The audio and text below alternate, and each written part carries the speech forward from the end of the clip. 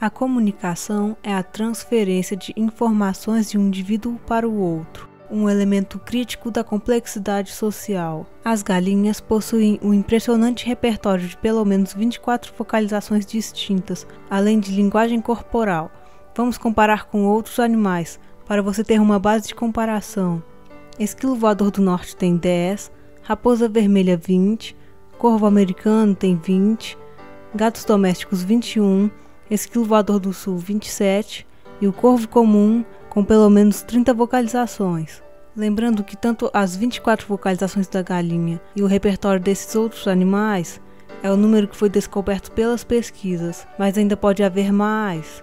Comunicação referencial.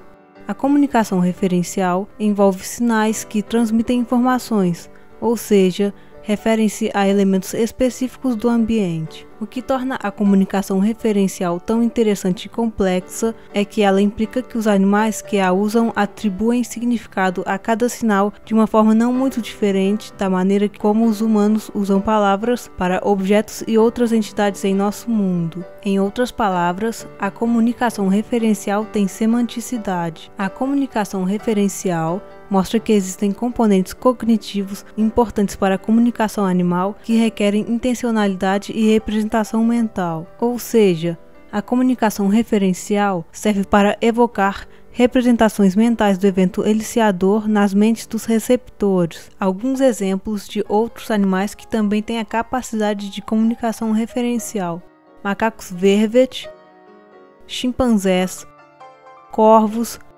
lêmure de cauda anelada, macacos Diana, golfinhos nariz de garrafa, domésticos, entre outros.